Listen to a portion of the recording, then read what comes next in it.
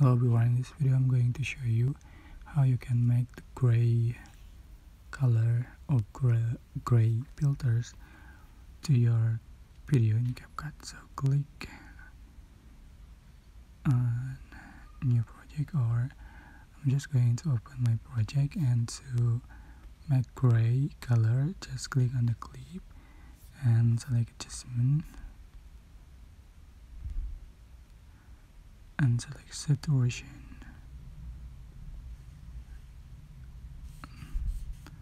swipe to the left.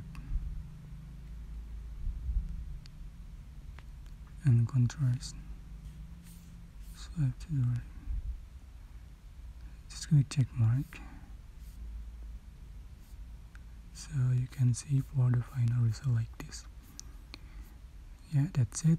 It's super simple tutorial I hope this tutorial was helpful for you guys. Don't forget to like comment share and also subscribe. If you have any question please write in the comment section below. Thank you so much for watching